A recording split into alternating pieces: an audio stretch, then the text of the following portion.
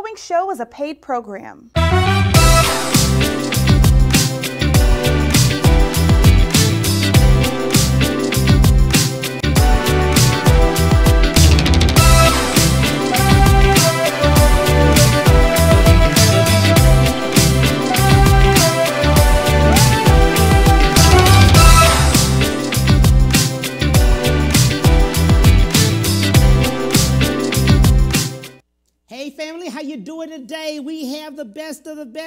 Best, Mr. T. Sean Shannon, comedian, Emmy Award writer for Saturday Night Live, author, director, and producer. Hey buddy, how you doing? I'm doing really good. How are you, Cam? Man, I'm telling you, I'm so excited today. Eight years with Saturday Night Live. How did we get started in comedy? I started my freshman year in college. I went to University of Houston, and I always wanted to be. I think even by the time I was 15, I knew I wanted to be a comedian, and it was. Uh, I saw a Showtime special, and they had all these comedians on it, and the host goes. Yeah, this might look easy, but these are the Babe Ruths and the Henry Aarons of comedy. And I was watching at home, and I'm such a cocky kid. I went, "Hey, I could be Ty Cobb. This is a nice deal." And so, Eve, like 16, I had an older brother who loved comedy, and I just became obsessed with it. When I was 18, I started doing it, and I was my first year in college. Wow, that is good. University of Houston, shout out to them. Eight years with Saturday Night Live. How did we land Saturday? We love Saturday Night Live. Yeah, it was. It's it's the ultimate. I mean, it's the ultimate goal you want, and it was so. And for like the first three weeks there, I'm all intimidated and scared. I'm this kid from Houston or whatever, and then I meet everybody, and there's a guy from Kentucky, another guy from like Iowa. I'm like, oh, okay, fine, Uh-huh. I can do this. These Uh-huh. these people weren't born into this job. Right? So it was, yeah, no, it was. It's the ultimate job. How do you get the comedy. call for Saturday Night Live? What do they do? How do you get that? That I sent in packets, uh, so I'd write sketches, and I had sent in, I think, two years before, Right. and it was I was looking, I worked on a show, uh, and then I applied to the Tonight Show with Jay Leno and Saturday Night Live, and I didn't hear anything back from Saturday Night Live, but I got the Jay Leno show. Wow. And so while I was at Leno, I would write sketches for Saturday Night Live. And I mean, I would just practice writing sketches. Uh huh. And so when I left Leno, I submitted to Saturday Night Live and I got it. So it was a big deal. It was, I got a call. I was at the gym and my wife called me at the gym and uh, goes, Yeah, this is uh, Saturday Night Live called. And so this was like two o'clock in the afternoon. I flew out that night at 11 on the red eye, landed, and then I had an interview the next day, and they liked me. I didn't do anything too weird where said, "Ah, this guy, don't bring this guy in." I was calm enough, and uh, it worked out. It was really cool. It, it was amazing. Well, look, let me tell you something. Before we jump to Saturday Night Live, one of the one, one, one of the viewers said, "Wait a minute, did he say Jay Leno?" Forget Saturday Night Live. How did you land the job at Jay Leno? well, then no, but I had jobs before that. My first job, I started writing in '91. yes. and that's just when Comedy Central had started and cable was blowing up, so there Uh-huh. were a lot of opportunities. Right. And I got on this show called Comics Only with uh, Paul Provenza was a host, and it was just a really good gig, and everyone there who was writing on it were really established writers hmm and they were all in the Writers Guild. And this show wasn't a Writers Guild show, so I wasn't in the guild yet. and they would get offered shows and they couldn't do them because they were non-union shows. So from that one show, I started working for MTV on a gig. I would work on all these little shows, and then eventually, I got in Living Color. That was my first big gig. In living color. And That just was fun. think about all the people from In Living Color now. You know, your Jennifer Lopez. I call him Fire Marshal Bill. Yeah, Jim Carrey. Yeah, no. Fire Marshal Bill, Jamie Foxx. Yeah, no, it was the biggest Yes. names. It's stunning. It's stunning how many people. And that was the thing when I started. People would go, "So do you hang out with the Fly Girls? Do you ever?" They came and filmed on a different day. Right. Never. I saw them once in the hallway when we passed, but they were because we would they would film all their stuff on a Wednesday, and then we would do the sketches on f- Thursday and Friday, and that's when they would bring in an audience. So, yeah, people. That was the first question everyone asked. All my friends, all my guy friends. Uh, hey, man, how about the Fly Girls? Never saw 'em. I passed them in a hallway. But can you believe just the impact that In Living Color did? You know, from what you did as far as the writing, just in Living Color in itself, and now to look at them today, man. Well, also they changed the Super Bowl Super Bowl format Right. because in the old days they would have like a marching band from USC at halftime, Mm-hmm. and everyone was prisoners. and then you had to wait till they finished, and then you could start the football game again. And then In Living Color did a special. Hey, we're doing a show during halftime, and we'll put a clock in the corner to tell you when the second half starts. Mm-hmm. And it was such a monster success that they started having to get good people to play the Super Bowl halftime show. Yes. And that's why that's why you have all these amazing Rolling Stones, uh, Janet Jackson, Bruce Right. Springsteen, everybody, because In Living Color forced their hands. Right. Because they Yeah. would still be doing crap if they didn't if they, if they didn't have to put on good people, they wouldn't. Right. Can you believe the magnitude of just in living color and what it did? What you guys as writers did, just the concept, the the movement that you did at the time.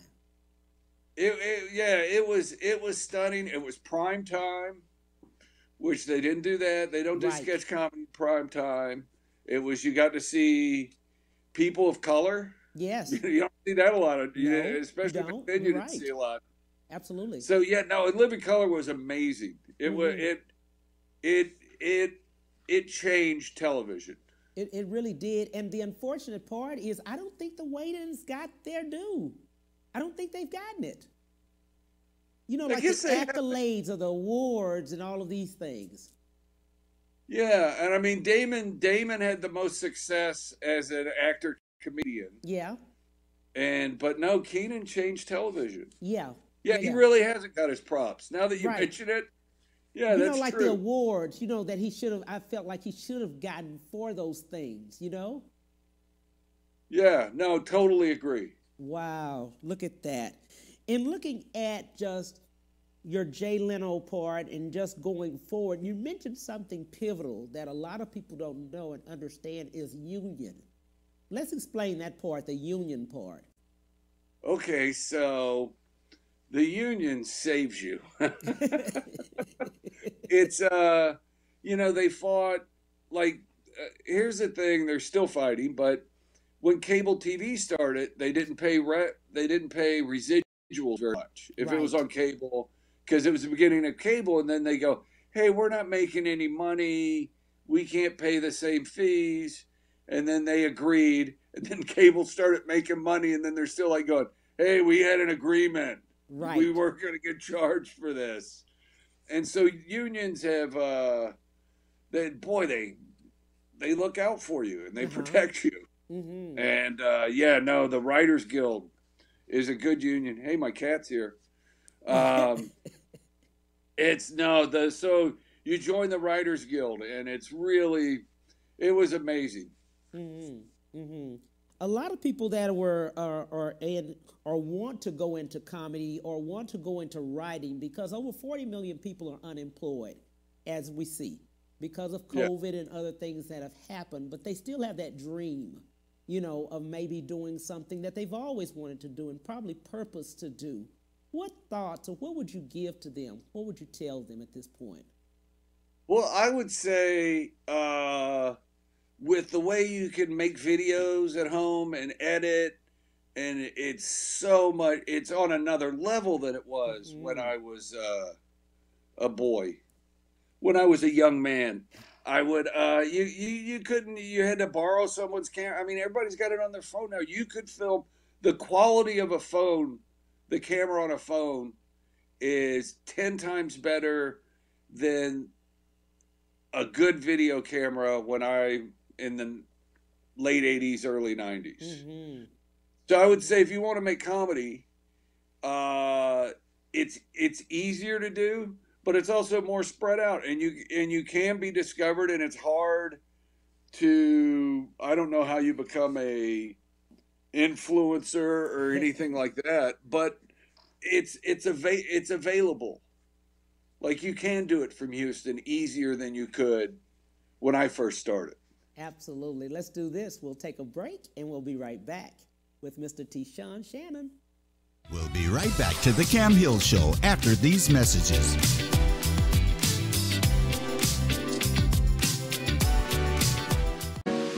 Cam Hill Show. If you'd like to advertise your business or become a sponsor, contact the Cam Hill Show at gmail.com.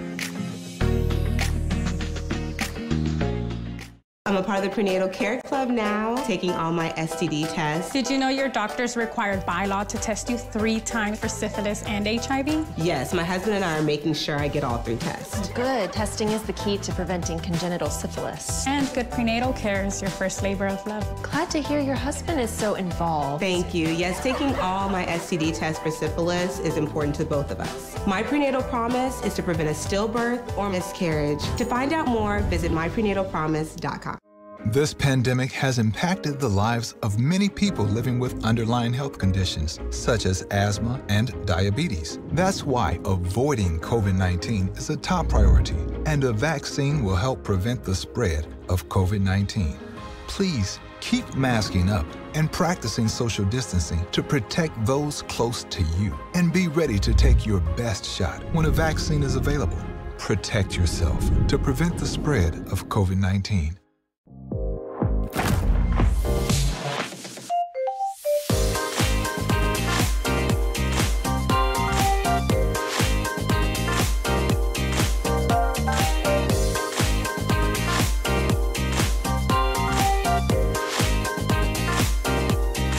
Amazing things for you. Move up at Ron Carter Cadillac. Drive the new 2021 Cadillac XT4 Luxury Collection for only 319 a month. The new 2021 Cadillac XT5 Luxury Collection for only 399 a month. Both for 39 month lease with just $1 down. Or purchase either and enjoy 0.9% APR for 72 months plus bonus cash. Gulf Freeway just two minutes south of the Beltway. Shop smarter when you shop Ron Carter. RonCarterCadillac.com. And now back to the Cam Hill Show.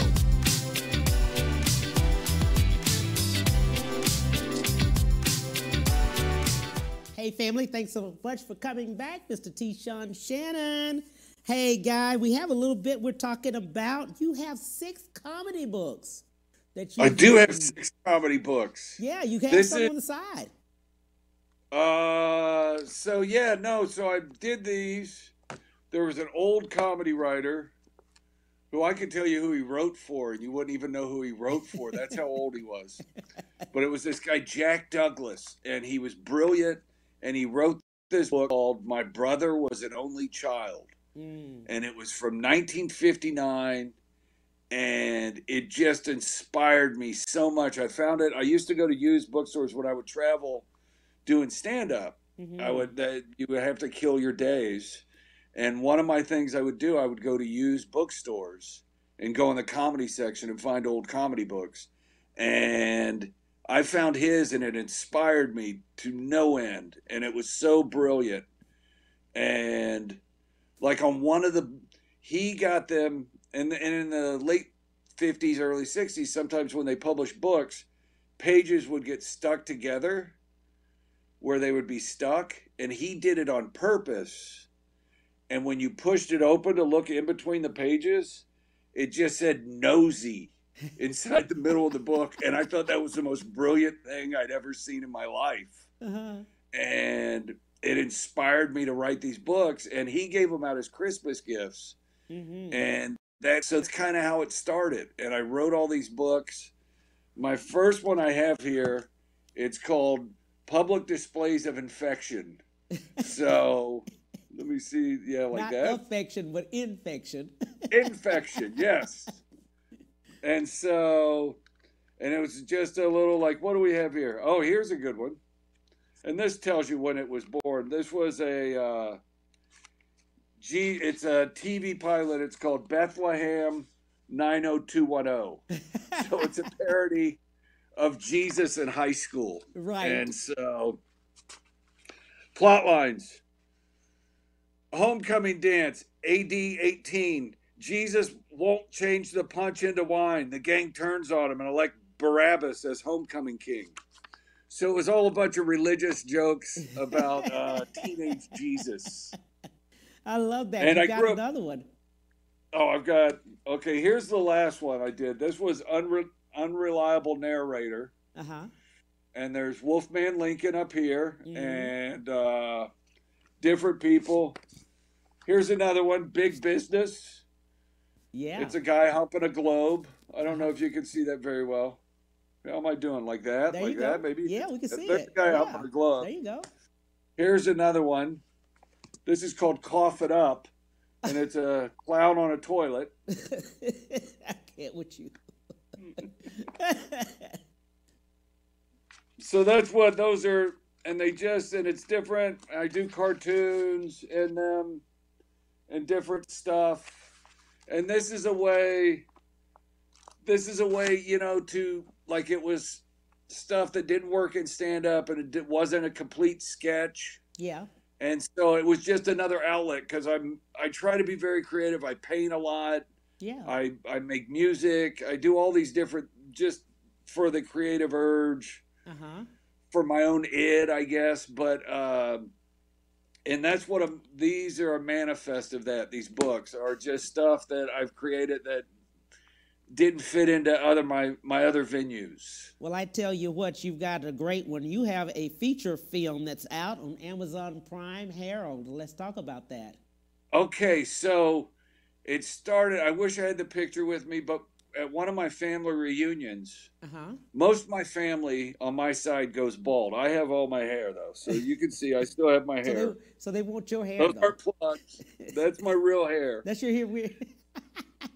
So my brother got my nephew, who was 11, and shaved his head into male pattern baldness, mm-hmm.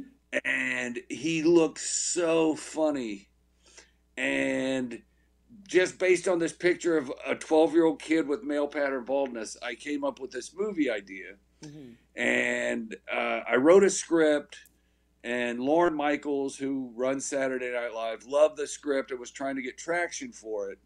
And I did a short film for Saturday Night Live called The Adventures of Harold. Mm-hmm. And it's just about a kid who's 12 who has male pattern baldness. And so from that, the script around for a long time. It was on this thing called the Blacklist, where it was the best 100 screenplays that haven't been made yet Mm-hmm. and it was on that for two years. And then luckily, it was Cuba Gooding Jr. found it, and he said I would be in this movie. And just off getting him as to be one of the stars of the movie, he uh, it, we got the money. It Wow. was uh, and it's amazing. And then you know, here's the weird part: it's a low budget film. It cost a million dollars Wow. that's not low budget to me, but to Hollywood, that is super low budget. We're in. Houston. Yeah, exactly. That's a million dollars. A million dollars. Yeah, but I got I got people from Saturday Night Live to be at Colin Quinn, Chris Parnell, Rachel Dratch, mm-hmm. uh, Ally Sheedy was in it. She plays the mom, and the kid who plays Harold Uh huh. is just his name is Spencer Breslin, and his sister is Abigail Breslin. They're a big kid acting family, or Uh-huh. were now they're on their twenties. Right. And he was so brilliant in the film. Mm. It was amazing. Wow. wow, wow. And And it's on Amazon So- Prime right now. It's on Amazon Prime. It's a really good film. I would I saw it for the first time in about 10 years. I hadn't seen it in so long and we watched it the other night. Right. I showed it to my daughter. I have a 12-year-old daughter and she she dug it. Uh huh. She And, did. She uh, said, "Dad, you yeah, want that?" she liked it. Yeah, no, she's jaded. She doesn't. She's not that impressed that Dad did anything. And I've used her and stuff. When she was a baby, I made a thing for HBO called Space Baby, which was Uh-huh. a sketch on uh, Funny or Die for HBO. And she was in it as a baby and couldn't talk. So that was just brilliant. That's too funny. Does she has she seen herself as a baby in it? Yeah, she's yeah, she's still too cool for school. She's Oh, right. Okay. Yeah. She's 13. I forgot. She turned Oh, 13. she's a teenager. 12. She's grown now. She- yeah. She yeah. She's, She's not twelve. She's a not a teenager. baby. Yeah, she's a grown lady. Yeah. Let's talk a little bit about comedy in itself is 10%, but there's a 90% of business. A lot of people lose that part of the business side and they lose a lot of the income. What would you tell them about the business side of comedy? What thoughts? dude it, it's so hard and it's and and the goal pull the goal goal line is always moving. It's always changing. Mm-hmm. and you got to you got to get instagram followers. You got to get these. And i'm to the point where i had enough credits and stuff that i'm lazy about that stuff. Yeah. but if you're starting out that's the heart of it. That's Yeah. that's exactly and then and so like there's people who've busted through with that and once once someone busts through in a certain way the business always reacts in a way to mine that but also to kind of patch that hole up Mm-hmm. you know Mhm. it's Yeah. like um it we'll go back to keenen so keenen ivory wayans and robert townsend Uh-huh. which i'm sure you know Yeah. townsend robert townsend brilliant he made this short he made the film uh hollywood shuffle i think it was Mhm. called Yeah. and he and it was this and that was his breakthrough and it was a keenen breakthrough for both of them and then once they did that once they broke through people started trying to make short films and hollywood immediately went over and patched that up got a couple more people through and then that was so it's always evolving. So you always got to be on the cutting edge and you have to go the route that's been but you know innovative innovation they reward Absolutely. I, I remember a long time ago, open mics were real popular, but with COVID, you know, has kind of, you know, that's put it down, not going anywhere. A lot of places have closed up, and maybe they're opening up now. What would you tell, uh, you know, your your up and coming comics? What do they need to do now? Well, they, you they need- can't go to that open mic and they can't go and practice and see others like they should. I guess they have to go on the internet now, and kind of, you know. Yeah. I mean, well, you can grow that way, and especially with TikTok and all the formats, Right. you could you could study that and figure out uh, how to turn it into what you do. Right. And you and it's always you got to serve your voice. Yeah. I mean, one of the big things is like you you, you got to work hard, but you you develop who you are, where you're where people can't steal you. Right. They could they might be able to take a joke or two from you, Yeah. But if you, no one can be you better than you. That's it. That's the key. You're right, T-Sean. And I would say, That's I it. would say that's a giant key of your persona. Whether it, uh, I would, I mine is just an exaggeration of myself. It's like a Mm-hmm. little exaggeration of what who I am. hmm And that's to me that's best work. But if you get a persona, whether it's Rodney Dangerfield, no respect or whatever, if you get your character persona, it's that's a big key. I would work on developing your voice. hmm Always be writing. Always be looking at what's coming up next. Be it TikTok. TikTok Mhm. exploded before that. It was Vines.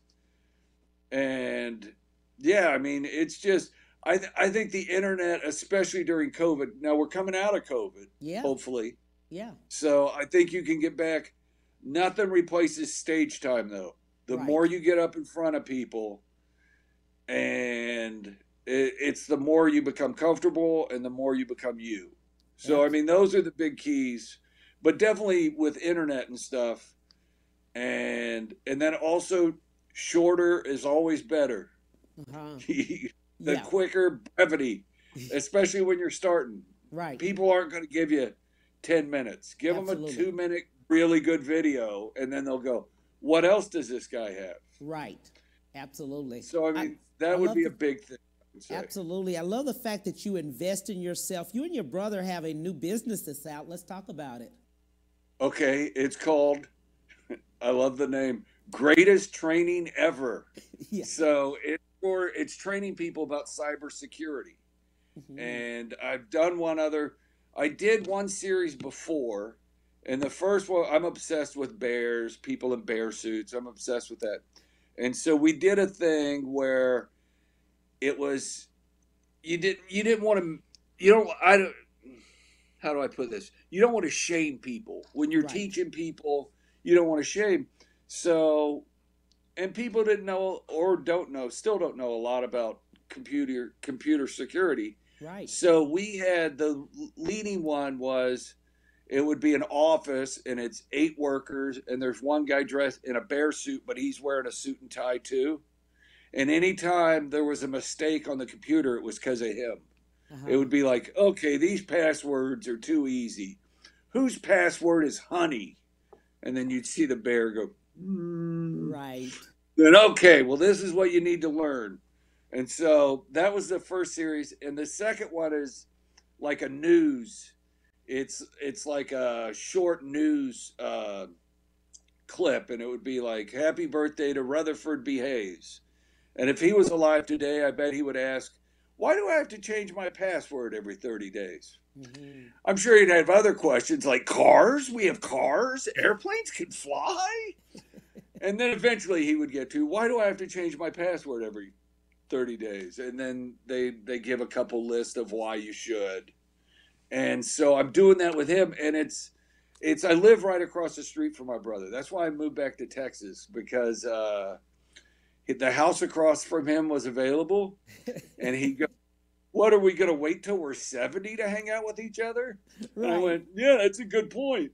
So I've been here for five years, right across the street, hanging out with my brother, which is That- wonderful. That is good. That's good. We didn't talk about you being originally from Pasadena. Pasadena. Technically, I was born in Pasadena, right at South Houston. Right, I was a stone's throw from Pasadena. Right. But uh, but I did have. I played little league at this place called OFA, and it was part of the Petro, uh, Petrotex petroleum plant. They actually built a little league field inside that that bordered up to the I petroleum cannot plant. believe that. Yeah, I don't. Crazy. Yeah, but yeah, no, Pasadena, baby. I love it. I love it. And looking at it, what do you think? It, what have you learned along the way? Um, uh, I don't know if I have any anything profound. Like, let's narrow it. Let's narrow it down. What have I learned along the way? Uh, You've learned some from, and let me just put it in this context. What have you learned along the way in getting your jobs from Jay Leno to Saturday Night Live to going into films, from going to what things have you learned along the way in that aspect? Okay, here here's a big one. Uh, an agent can help you. It Yeah. can't make it for you. You still have to hustle. Most of my gigs I got through word of mouth, where like a friend would be working at a show or knew somebody at that show and go, "You should think of this guy." So making having a network is a big deal Mm-hmm. which is hard, I think, for comedians because comedians, especially stand-ups who are like lone wolves, Right. and it's very uh, stand-ups are a very peculiar bunch, uh, and I'm one of them. But very, very, uh, I don't know, lone wolves. So, but you got to have a network, and That would be, but like agents aren't going to make your career. Yeah. You know, they can help it, but you got to hustle. You got to make stuff happen. They're not going out of their way to, uh, hey, I'm going to really help this guy. No, I've got 40 guys. Right. I get 20 of them work. I get a good living, you know? Yeah. So I, I think they want you to succeed, but they're not going to kill themselves Yeah. to make it happen for you. So I you you it is self sufficient. You got to be a hustler. You got to make that stuff happen. And you know what? Another thing, I think if this is what you really love, like people always, uh, well, yeah, but do you really? Is there a great way to make a? Li-? You know what? Any job you go into, Mhm. there's going to be the same hurdles, the same turds you work with who are keeping you down, no matter what it is, whether you're selling cars or whatever. Mhm. So you might as well go do something you want to do if it's going to be the same politics everywhere. Absolutely. So that would be one thing I would think too. And I'll always be creating, always be writing, always perfect your craft, no matter what it is. Sounds good. Let's do this. We'll take a break and we'll be right back with the Cam Hill Show. We'll be right back to the Cam Hill Show after these messages.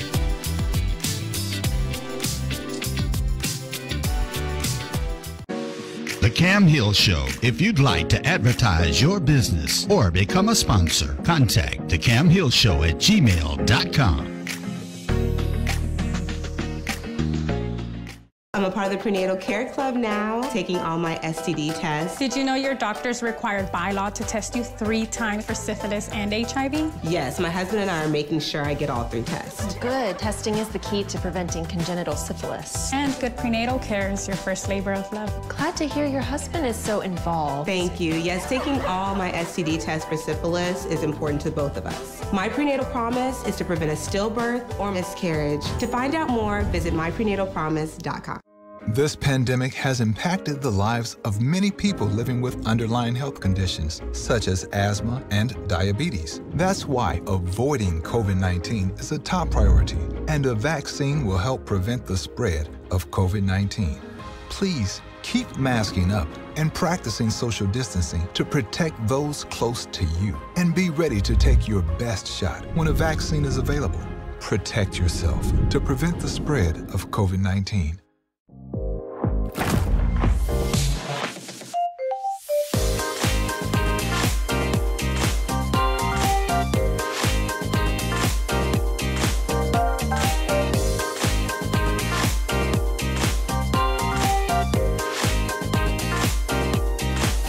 Amazing things for you.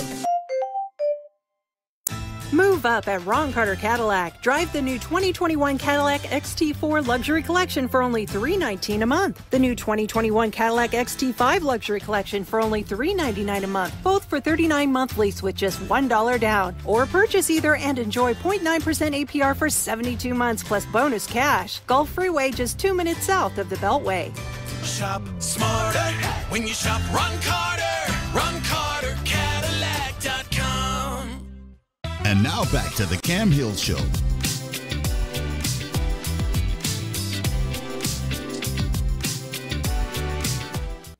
Hey, family, thanks so much for coming back. We're talking to Mr. T. Sean Shannon. Hey, buddy, we were talking about a lot about how what you uh, have been learning along the way. A lot of people have asked the question. I was looking at some of the questions, and there's a lot of people that want to know in writing films, what should they do? How can they get started? There are a lot of people that are playwrights. You know, they've written plays or they've done something like that. But they're ready to go into doing maybe little short films or something. They're here in Houston. And the first thing people say is you got to move. You got to go somewhere. Not anymore. Right. I don't. I don't think. I don't. I don't think you. Uh, eventually, you will have to go there to get things going. But to you would. I think you want to show up in L.A. or New York with a product Right. that people are already talking about, or get ready to start from the bottom and start. You know, put your legwork in. If you go to LA and you're ready to do, uh, but it would be easier probably if you work here. And writing, writing films is hard. Writing writing anything is hard. Right. But I but I enjoy it. I mean, people always like, yeah, writing's hard, and it's like, yeah, it is. It's it's not a lot of glamour there at your typewriter by yourself. It's right. not a lot of fun. Uh-huh. But it, you got to do the work. And you have to have also the- discipline doing that yourself. Because you have to be in, you have to have discipline. Turn off the TV or turn on the music or whatever and get in your mode and, you know. You got to definitely do that, and you got to be disciplined, and you got to motivate yourself. Yes. And then you hit on it, and I never thought to bring it up. Music is so important to me writing, and uh, it just it's it it fills up space that so you can think in another space. Right. Right. But music to me is a big key to writing, and I have, uh, like when I think of my years at Saturday Night Live, I I think of albums Yeah. that got me years. Like there was a Lou Reed album, New York, which was my favorite writing album for at least two years, and it was just Lou Reed and just two guitars, bass and drum, yeah. and it it really put me in a zone Mm-hmm. but um you know and then also you here's the here's the tough part here's the two tough parts about writing rewriting you gotta rewrite like like especially when you get a movie Uh-huh. when you write a movie it's a hundred pages and it's like yes. oh and then and then there's the pixie sticks game if you pull one scene out suddenly these four other scenes crumple yes. and so, and it's that's the hardest thing I think is to go back and to rewrite. Like Mhm. that, it's not a fun thing to know that when you're done with your 100, 100 page screenplay, you're not done. Right. Wow, that's step one. We got five more to go. Right. You, one of them, and so rewriting is a big key. I mean, and then also you got to move on to the next project Mhm. like and i always i always read writing books or Mhm. anytime like writers talking about but stephen king what he would do is he writes every day uh-huh. and then he would um he would finish a book start a new one and when he finished the second one he would go back and rewrite the first book right. because it gave him lies. And also, he's a better writer by the time he's written another book. And that's the same thing with screenplays. You write one screenplay, yes. that's great. And You rewrite it, then do your second one. And you're going to learn stuff during that second one just Right. doing it. And then when you go back to that first one, you're going to see stuff and go, oh, this is what I could do here Absolutely. and and it's it's a it's a long process and it's uh it's yeah it's just a lot of work you got to do it and if that's what you want to do it's it's not really work And you haven't been able to, many times you've had to, you can't go to, you know, can't go to the club. You can't go out. You gotta, you have a deadline. You have a deadline. yeah you have a deadline and and a lot of and it, when you start it's self-imposed Yes. Yes. And yes, yes. you can't go, you can go out to the club but then you got to do your work during the day right. you know you have to do you have to do your work You have to do your big- work. You have to do your Yeah. work. You you really do. You have to do it. And then, like you were saying, I love what you said about networking. You have to network with others because most of the jobs come by that. It's all in who you know. It really is. It's like, hey, yeah. And then that helped me so much on my first show is that Right. these guys could do gigs and they would go, hey, th- you should talk to this guy. Right. And that's such a big key. And it's uh, part of it is you got to score when you do get your chance. Yes. Yes. Luck yes, yes. is opportunity meets preparation. So you Uh-huh. got to be you got to be ready to go when it happens. Now that's true. That's true. And investing in yourself. Many people don't want to invest in themselves. Yeah, that's true. You gotta you gotta invest in yourself, and even if it's and that doesn't mean you have to wear a suit, but you should wear something that you're comfortable in that looks Yes. nice. You, you that's, that's the key. That's the key. That's the key right there. Comfortable Yeah. and look nice. And looking at it, and we were talking about uh, just the career and all that you've done. And then now the great part about it, You don't have to always be on the big screen. I love the part about Amazon Prime, your Netflix, your Lifetimes, or whatever. How do we go from that? How do we get that that part? How do we go there? Well, this is this is the same thing that I experienced when I first started Yeah. in the 80s, late 80s, early 90s. Is cable was blowing up. Yes. So we got USA Network, you got Comedy Network, you got Country Music Network. You have all these different avenues now. And now you're getting them in streaming services. hmm And they're blowing up, and it's like Netflix and Amazon. And then there's these other ones coming up too. And those are going to be the ones you want to try to hit or figure out how to get into. hmm And that and that can like always be looking to where things are going, not where they are. Does that make sense? It does. It does. What would you like to leave with the viewers, my friend?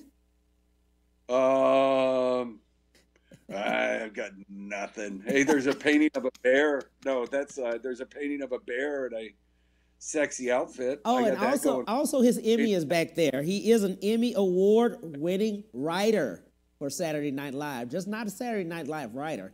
Emmy award winning writer. yes, that is hilarious. That's too funny.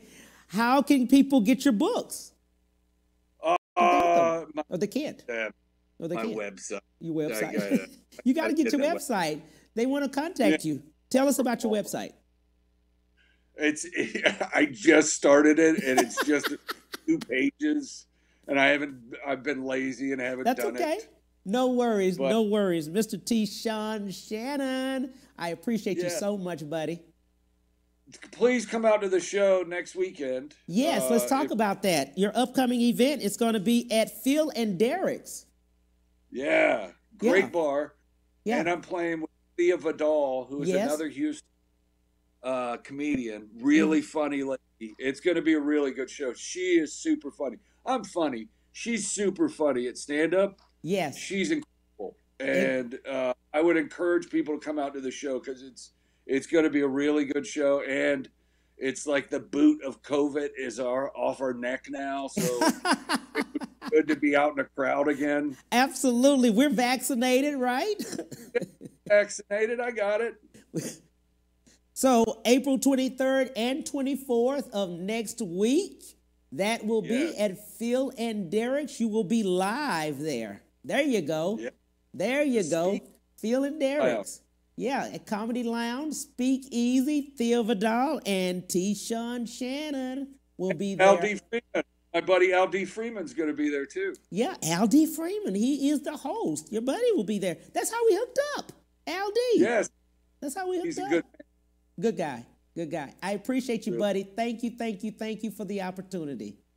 Thank you, Cam. I really appreciate it. So Talk good to you seeing you. soon. God bless. All right. Hey, 1230, 130 Central Standard Time, the Cam Hill Show. Talk to you. Bye.